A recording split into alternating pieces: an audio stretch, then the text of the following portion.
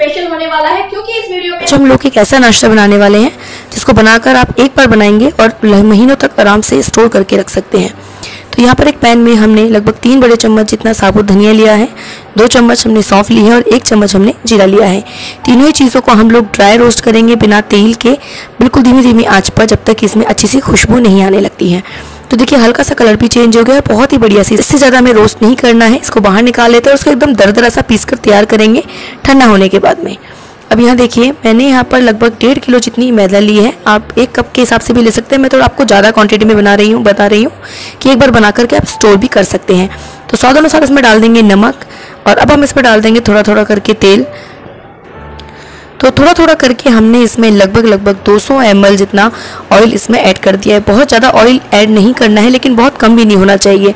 तो कितना ऐड करना है, ये आपको वैसे नॉर्मली सबको पता होता है, लेकिन फिर भी आपको बता दूँगी कि जिस तरीके से मैं आपको बता रही हूँ, बिल्कुल इसी तरीके से आपको इसको मसलते हुए पूरे ऑयल को अच्छे से पूरी मैदा में मिक्स करना है, जिससे कि हमारी जो नाश्ता बनेगा वो एकदम खस्ता बनकर तैयार होगा। और जब इसमें पूरा ऑयल अच्छे से मिल जाएगा तो हम इसकी मुट्ठी बना करके देखेंगे। और अच्छे से ये बाइंड हो रहा है, इसका मतलब ऑयल एकदम परफेक्ट है इसमें। अगर ये बाइंड नहीं हो रहा है, बिखर रहा है तो आपको इसमें ऑयल और भी ज़्यादा इसमें ऐड करना होगा। तो यहाँ पर हम धीरे धीरे करके इसमें मिक्स करेंगे। एक साथ में बहुत ज़्यादा मिक्स नहीं करना है। और यहाँ देखिए, इस तरीके से हम इसको उठा करके बाइंड करके देखेंगे। देखिए, अच्छे से बाइंड हो रहा है इसका मतलब। ऑयल एकदम परफेक्ट है। अब इसमें करके थोड़ा थोड़ा करके पानी ऐड करेंगे और पानी ऐड करके एकदम सॉफ्ट सा आटा गूंद कर तैयार करना है। जैसे हम चपाती के लिए लगाते हैं ना, बिल्कुल वैसा ही आटा हमें गूंद कर तैयार करना है। उससे भी थोड़ा सा नरम होगा तो अच्छा रहेगा। टाइट नहीं होना चाहिए। टाइट होगा तो उसको बाइंड करने में बहुत प्रॉब्लम आएगी। क्या दिक्कत आएगी मैं आपको इसको वीडियो में अभी बता दूँगी, जिससे कि आपको पता चलेगा कि नरम हमें क्यों लगाना है आटा। तो थोड़ा करके पानी ऐड करते जाएँगे और इसको अच्छे से सॉफ्ट आटा गूंदना है। ध्यान रखना है, आपको ज़्यादा लोच देने की ज़रूरत नहीं है, बस सभी चीज़ों को अच्छे से मिक्स कर लेना है आपस में।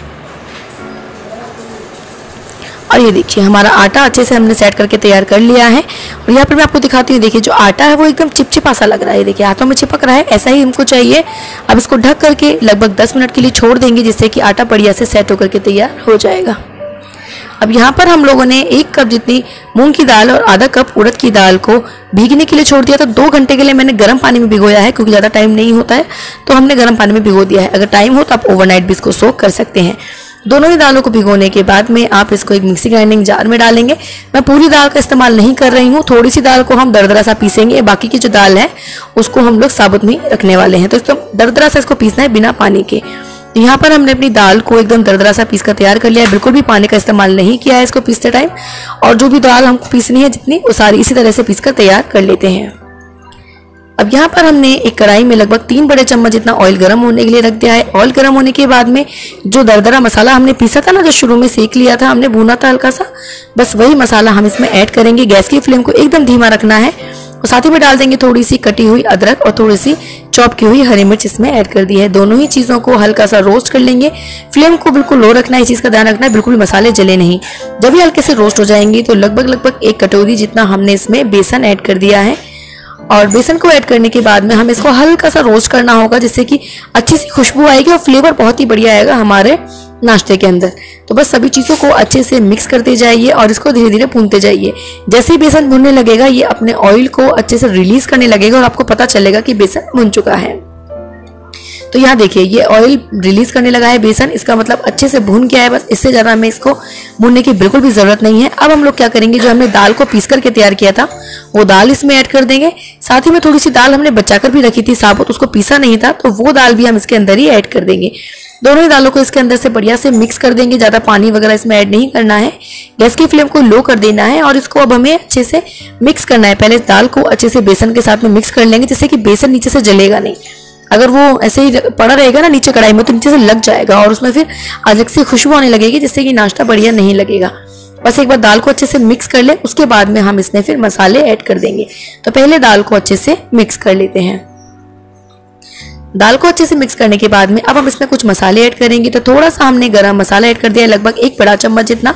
एक छोटा चम्मच इसमें हमने काली मिर्च का पाउडर ऐड कर दिया है और आधा छोटा चम्मच इसमें हमने लाल मिर्च का पाउडर ऐड किया मसाले की मात्रा थोड़ी सी कम ज़्यादा आप कर सकते हैं। साथ ही में डाल देंगे चौथा ही छोटा चम्मच जितना अमचूर पाउडर अगर आपको पसंद हो तो आप डालें, नहीं तो आप स्किप कर सकते हैं। दो पिंच इसमें डाल देंगे हींग, यानी कि जो हम हींग कड़ी वगैरह में डालते हैं ना, वो ही इसमें ऐड करना है। बहुत बढ़िया टेस्ट आएगा। साथ ही में डाल देंगे स्वाद अनुसार नमक, इससे बहुत बढ़िया फ्लेवर आएगा और साथ ही में ध्यान रखना है, जो आउटर कोटिंग है, उसमें भी नमक डाला है तो बहुत ज़्यादा मात्रा में आपको नहीं ऐड करना है। बस अब सभी मसालों को अच्छे से कर देंगे मिक्स एकदम से बेसिक से मसाले हैं, जो सभी के घर में अवेलेबल होते हैं तो आपको ज़्यादा इसमें बिल्कुल भी ऐसा कुछ नहीं है कि बाज़ार से आपको कुछ लेकर आना पड़ेगा, बस घर पे ही आप इन चीज़ों को बनाइए और आराम से महीनों तक आप इसको नाश्ते में स्नैक्स में इंजॉय कर सकेंगे, बहुत मज़ा आएगा। अब इसमें साथ ही में डाल देंगे, थोड़ा सा कसूरी मेथी, वैसे तो ऑप्शनल है, आप चाहें तो डालें, लेकिन अगर डालेंगे तो उसका फ्लेवर बहुत ही बढ़िया जाता है, अगर आपके पास हो तो आप ज़रूर ऐड करें। इससे आपका जो नाश्ते का लेवल है ना, वो बहुत ही अलग चला जाता है, बहुत बढ़िया फ्लेवर आएगा। बस अब इस दाल को हमें तब तक भूनना है जब तक कि हल्की सी ड्राई नहीं होने लगती है, सिर्फ़ हल्का सा भूनेंगे लगभग लगभग तीन से चार मिनट इसमें लगेंगे, ज़्यादा टाइम बिल्कुल भी नहीं लगता है। और ये देखिए, हमारी जो दाल है, वो पहले से थोड़ी सी ड्राई हो गई है, थोड़ी बिखरी बिखरी लगने लगी है। बस अब इसको दूसरी कढ़ाई में निकाल कर दूसरे बर्तन में ठंडा करने के लिए छोड़ देते हैं। यहाँ हमारी जो मैदा है, वो अच्छे से सेट होकर के तैयार हो गई है, थोड़ी गीली है, और ऐसे ही हमको चाहिए, बस अब हाथों में हल्का सा ऑयल लगा करके आटे को फिर से सेट कर लेंगे। और जो पूरा मसाला था, उसे हमने इस तरह से छोटे छोटे गोले जैसे बना लिए छोटे छोटे लड्डू, उस मसाले से हमने बनाकर तैयार कर लिए अपनी स्टफिंग से। और आटे से हमने छोटे छोटे पेड़ इस तरह से तोड़ करके तैयार कर लिए हैं। अब यहाँ पर एक एक पेड़े को उठाएँगे और हाथों के बीच में रगड़ते हुए इसका एकदम चिकना सा बॉल बनाकर तैयार करेंगे। आपको ध्यान रखना ज़्यादा इसमें क्रैक्स नहीं नज़र आने चाहिए, नहीं तो हमारा नाश्ता एकदम परफेक्ट नहीं दिखेगा। बस इस तरह से सारे पेड़े बना करके सारी बॉल्स बना करके तैयार कर लेते हैं। तो यहाँ पर हमने सारी बॉल्स बना ली हैं। अब एक बॉल को हम लोग उठाएँगे और बॉल को उठा करके हमें इसके किनारों पर से इसको अच्छे से प्रेस करना है। बीच में से आपको प्रेस नहीं करना है, सिर्फ़ जो किनारे हैं वो हमें प्रेस करना है। ये देखिए, जिस तरीके से मैं कर रही हूँ, ऐसे आप चाहें तो वैसे बेल कर भी बना सकते हैं, लेकिन मैं हाथों से ही बनाना आपको दिखा रही हूँ। बहुत ही आसान है इसको बनाना, बिल्कुल भी परेशानी नहीं आएगी आपको। तो ये देखिए, हाथों के बीच में इस तरह से रखेंगे इसको। आपको ज़्यादा कैविटी बनाने की भी ज़रूरत नहीं है। एक हम छोटा सा, जो हमारे मसाले का लड्डू हमने बनाया था, वो लड्डू उठा करके इसके बीचों बीच रख देंगे और उसको अंदर की तरफ़ प्रेस करेंगे। जैसे हम इसको अंदर की तरफ़ प्रेस करेंगे, ये, इसमें कैविटी अपना बन जाएगी और जो डो है वो ऊपर की तरफ़ निकलने लगेगा। ये देखिए, इस तरीके से और इसको हमें ऊपर की तरफ़ बस प्रेस करते जाना है और इसको स्क्वीज करेंगे तो जैसे स्क्वीज करते जाएँगे, ये अपने आप ऊपर की तरफ़ आएगा और नीचे से अलग हो जाएगा। और बस इसको यहाँ से तोड़ करके अलग कर देना है। तो देखिए, जैसे हम रोटी के लिए आटे की लोई बनाते हैं, बिल्कुल वैसे ही तो आप तोड़ सकते हैं। और ये देखिए, बिल्कुल जॉइंट फ्री हमारी यहाँ पर ये गोल गोल कचौरी बन करके तैयार हो गई एकदम बिल्कुल भी जॉइंट नहीं आएगा अगर आप इस तरीके से बनाएँगे। और हाँ अब अगर हमारा आटा गीला होता है तो हमें इसको पानी से चिपकाने की ज़रूरत नहीं होती, एकदम जॉइंट फ्री हमारी कचौरी बन जाती है। लेकिन अगर हम लोग ने आटा नरम नहीं रखा है, थोड़ा टाइट हो गया तो इसको चिपकाने में बहुत प्रॉब्लम आती है और ऑयल में जाने के बाद में ये खुल जाती है। इसलिए हमने आटे को एकदम नरम रखा है, जिससे कि बाद में बिल्कुल भी दिक्कत नहीं आएगी। और ये देखिए एक और मैं आपको बना करके दिखाती हूँ। हमने डो लगाया है बस अंदर थोड़ा सा मसाले का और उसको अच्छे से स्क्वीज किया। इस तरीके से और बस स्क्वीज करते हुए हम ऊपर से तोड़ करके निकाल देना है। आप इस तरीके से भी तोड़कर निकाल सकते हैं। अच्छे से चिपक जाता है। ये देखिए, चिपक गया है। बस इसको सर्कल में इस तरह से गोल किया और ये हमारी सारी कचोरी बनकर तैयार है। तो चलिए, सभी कचोरी से पहले बनाकर रख लेते हैं। यहाँ पर हमने ऑयल को भी गर्म होने के लिए रख दिया था। ऑयल गर्म हो चुका है। बहुत ज़्यादा तेज़ गर्म नहीं करना है मीडियम फ्लेम पर ही आपको गर्म करना है। एक एक करके कचौरियाँ इसके अंदर डालते जाएँगे हम लोग। और फ्लेम को आपको लो मीडियम ही रखना है, बहुत ज़्यादा तेज़ नहीं रखना है, नहीं तो जो कचौरियाँ हैं बाहर से लाल हो जाएँगे, अंदर से बिल्कुल भी सीख नहीं पाएँगी और कच्ची कच्ची लगेंगी। तो यहाँ देखिए, आपको एकदम पेशेंस के साथ में ये कचौरी को तलना होगा। जैसे हम गुलाब जामुन को तलते हैं, बिल्कुल वैसे ही, लेकिन एक साथ में काफ़ी सारी कचौरियाँ इसके अंदर आ जाती हैं तो आपको फ्राई करने में बहुत ज़्यादा प्रॉब्लम नहीं आएगी, बनाने में भी बहुत आसान रहता है। क्योंकि इसको हमें ये नहीं होता कि ये फूलेंगी या नहीं फूलेंगी, बहुत ही आसानी से बन जाती है, एक बार बनाएँगे और फिर महीनों तक आराम से स्टोर करके आप इसको खा सकते हैं। बस ध्यान रखिएगा, मसाले के अंदर आपको बिल्कुल भी मॉइस्चर नहीं रखना है। और ये देखिए धीमी धीमी आँच पर भूनते हुए, तलते हुए हमने इसको कचौरियों को बना करके तैयार कर लिया है। कचौरी का कितना बढ़िया सा कलर आ गया जैसे मार्केट में हमें हल्दी नाम की कचौरी मिलती है, बिल्कुल वैसा ही कलर, वैसा ही टेस्ट इसका आएगा। आप एक बार इसको ट्राई ज़रूर कीजिएगा, आपको बहुत ज़्यादा पसंद आएँगी। तो इनको बाहर निकाल के रखते हैं और सारी कचौड़ियों को आप इसी तरीके से फ्राई करके तैयार कर लेते हैं। बस ध्यान रखना है, तलते टाइम आपको लो फ्लेम पर ही इनको तलना है तो आपकी कचौरियाँ एकदम परफेक्ट बनकर तैयार होंगी।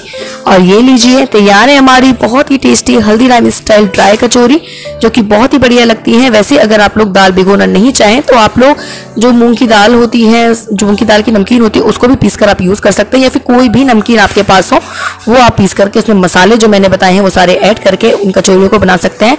टेस्ट उतना ही बढ़िया इसमें आता है। और ये देखिए, एकदम परफेक्ट तरीका परफेक्ट गोल गोल कचौरियाँ हमारी, बनकर तैयार है एकदम, जो टेक्सचर है बिल्कुल सेम है। और ये देखिए, कचौरी मैं आपको तोड़कर दिखाती हूँ, कितनी परफेक्ट और अंदर से बहुत ही खूबसूरत, बहुत ही टेस्टी कचौरी हमारी बनकर के तैयार हुई है। एक कचौरी हम आपको कट करके भी दिखाते हैं, कि कचौरियाँ कितनी खस्ता और कितनी बढ़िया बनकर तैयार हुई है देखिए।